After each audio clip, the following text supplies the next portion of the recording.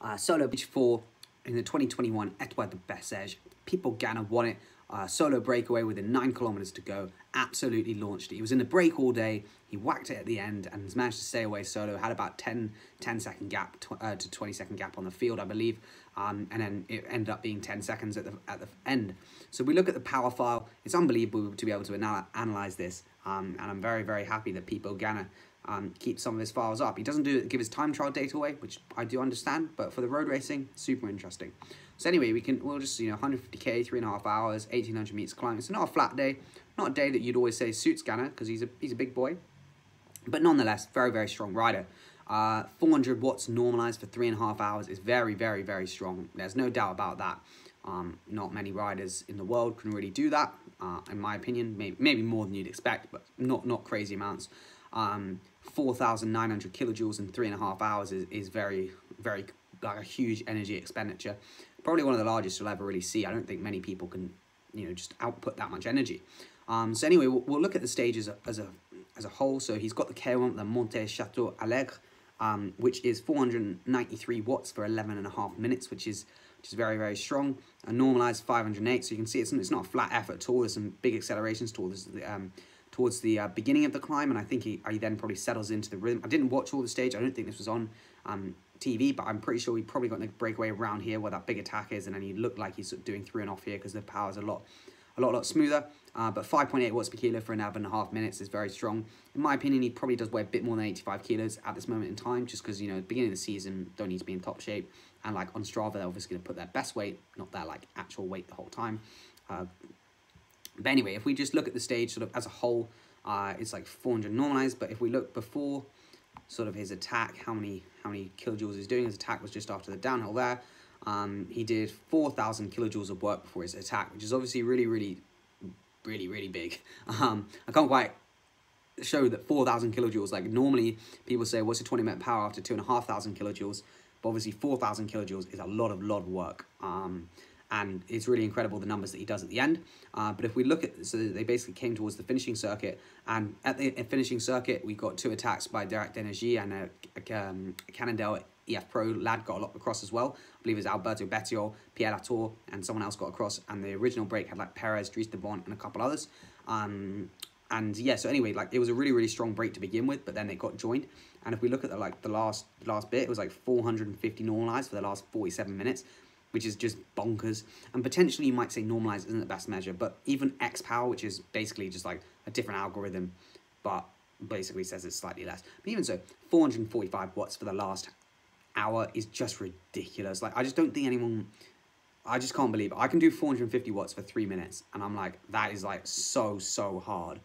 Does a 47. It's just ridiculous, man. Um, but anyway, it was like, it was really hard day is my point. The whole day, when they go into the finishing circuits, they really stepped on the gas to try and stay away. Um, obviously, you know, this bit after they got the break here, like that's for, for Ganna, 350 watts is like 70, 80% of threshold. It's, it's nothing crazy.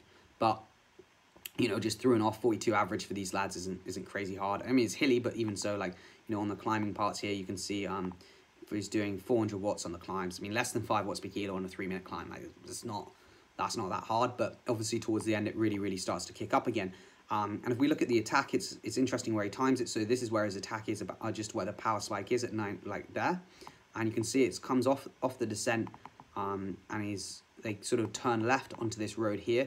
Um, is it is almost exactly where he goes. So you can see they're going along and going along, and then that this is where the power spike is just after they turn left. But as you can see again, it's not a crazy strong attack. It's not like he's doing a you know 1500 watts. Um, he sort of just ups the power gently um, and gets away. And then if you watch the, it live, um, unfortunately I can't show the footage because I've been getting copyright issues with Flow Sports. Not a fan of them.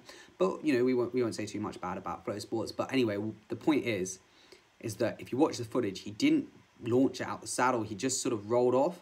And before everyone knew it was too late, the boys are like, oh God. Because they know if Ganna goes away, like they're not getting him back unless they go straight away. So every single person in the break rolled turns straight away, just as hard as they could go. You could be like, it was like they were literally sprinting to check it across. There were two direct energy riders.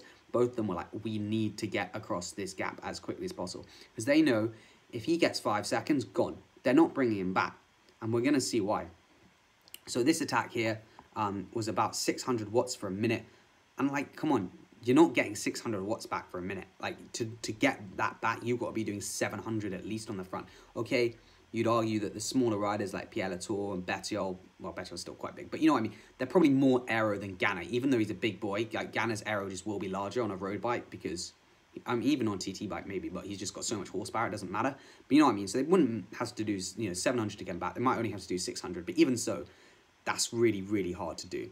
Um, and you've got to act so, so quickly. And obviously they didn't. And so he got the gap. And this is the thing, if Ganna had someone on his wheel, it's such a different thing because they're both them, you know, Ganna's not just going to go full, he's going to, you know, ride tactically. But that's the thing, as soon as he gets away solo, like Tony Martin back in the day, like once they're off, they're so strong on their own, they're so aero on their own, it's really, really hard to get them back. So if we look from his attack, he did 509 watts for 6 minutes 50. It was like a, a slight uphill here, 1.7%, so it's basically flat, and then there was a climb here, uh, which we'll get into in a minute.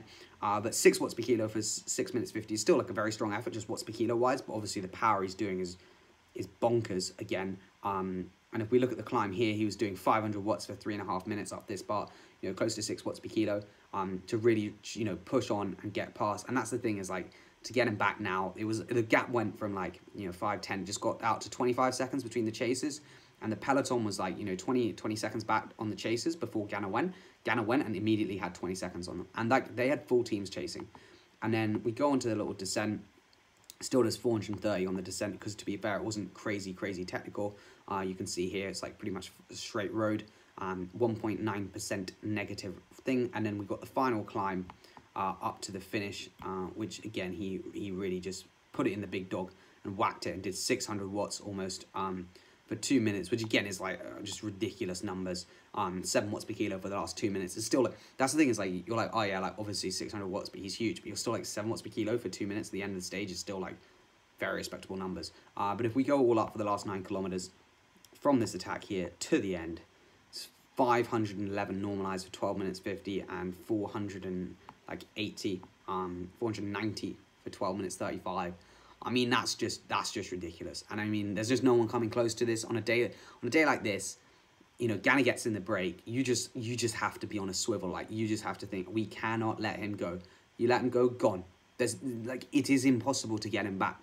Even like in my opinion, if they had five people all on the same team pulling really strong turns, it would be close. Like if you if they let him get five ten seconds, like he is that strong. Um. So yeah, in my opinion, it, it's it's like a it's just like a, a game changing move. It's like when Froome did his attacks in 2015. You can do whatever you want, but when the boy goes, it's physiologically impossible to beat him. And I think with Ganna, it's the same. Like if he gets into the break and gets like 10 seconds, I just I can't see how you bring it back. Fair enough, you have like five sprint teams on a pan flat road, then I can understand that. And you know, in the tour, let's say they're all really motivated. But like a stage like this in Etoile de Bessèges, technical roads, like just twists and turns, not everyone's motivated. Nah. Goes, Ganna wins. Done. Um, but anyway, cheers for watching. Hope you did enjoy. There's a TT tomorrow. We should have Wellens power data. He did 470 watts for 16 minutes, which was about 6.9 watts per kilo the other day up uh, Vall d'Ebo in Calpe. So I'm expecting big things from him. He should should take the overall. Ganna won't upload, I don't think, but we might have Wellens Kwiato won't upload, but we'll have a couple other big names. So if it looks like it's worth it, then I'll go through the power data. Uh, but if not, we've got Australian National Crit Championships, women's and men's coming up this week, I believe. We should have power data for the men's winners. I just need to sort out with Garmin Verb. Women's, I couldn't find any power data from the top three, but if anyone does have their data on Strava, let me know and I can sync that all up. So anyway, cheers for watching. Got any more questions or comments or anything else, leave them below, and we'll see you in the next one, eh?